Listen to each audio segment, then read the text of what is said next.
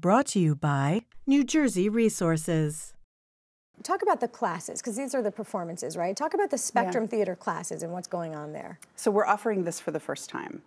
And through these classes, we're offering um, the chance for kids who are on the spectrum to explore the arts in a, in a theatrical way. So they'll be learning about creating characters or taking different traits, personality traits, and creating characters, or expressing emotions and how to tie that into physicality and how what to. What do you mean by that? Expressing emotions and tying that to physicality? Yeah.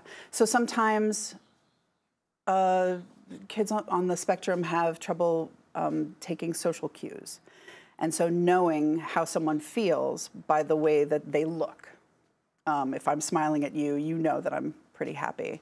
That connection doesn't always happen with kids on the spectrum. And so learning how to, uh, learning what, how, to express different um, emotions and learning how that looks physically or how to express it with your whole body. Brought to you by New Jersey Resources and by Englewood Hospital and Medical Center.